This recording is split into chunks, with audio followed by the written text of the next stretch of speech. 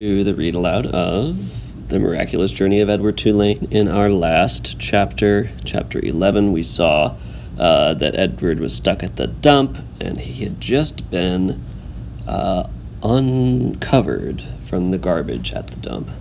Here we are, chapter 12.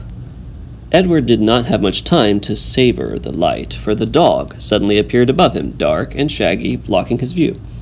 Edward was pulled out of the garbage by his ears, dropped, and then picked up again, this time around the middle, and then shaken back and forth with a great deal of ferocity.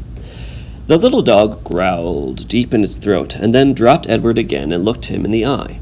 Edward stared back. Hey, you, get out of here, you dog!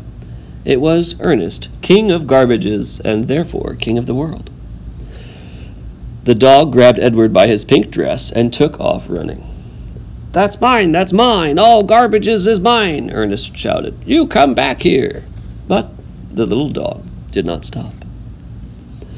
The sun was shining, and Edward felt exhilarated. Who, having known him before, would have thought that he would be so happy now, crusted over with garbage, wearing a dress, held in the slobbery mouth of a dog, and being chased by a madman? But he was happy. Yeah, the author's kind of pointing out here how much Edward has changed since the beginning of our story. He was a character who was very concerned with his clothes and not much else, and very easily annoyed um, by people touching him or hugging him or doing anything to him besides putting nice clothes on him. Now he's happy, even though he's got garbage all over him. He's wearing a dress and he's being run around with by a dog and being chased by a man, but he's happy. Uh, but he was happy. The dog ran and ran until they reached the railroad track. They crossed over the tracks, and there, underneath a scraggly tree and a circle of bushes, Edward was dropped in front of a large pair of feet. The dog began to bark.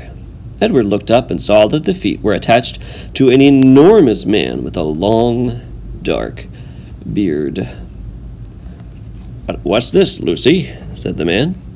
He bent and picked up Edward. He held him firmly around the middle. Lucy, said the man, I know how much you enjoy rabbit pie. Lucy barked. Yes, yes, I know. Rabbit pie is a true delight, one of the pleasures of our existence. Lucy let out a hopeful yip. And what we have here, what you have so graciously delivered to me, is definitely a rabbit, but the best chef in the world would be hard pressed to make him into a pie. Lucy growled. This rabbit is made of china, girl. The man held Edward closer to him. They looked each other in the eye. You're made of china, aren't you, Malone? He gave Edward a playful shake. You are some child's toy, am I right? And you have been separated somehow from the child who loves you. Edward felt again the sharp pain in his chest.